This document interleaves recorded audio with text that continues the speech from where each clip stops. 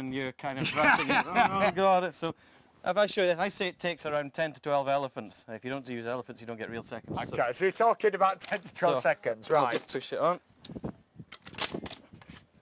And so what's important about I what. I'm doing here is that there's, there's no screwing and there's no tools, no dirty hands, and so it's incredibly that, quick to do. that was about six elephants. That's about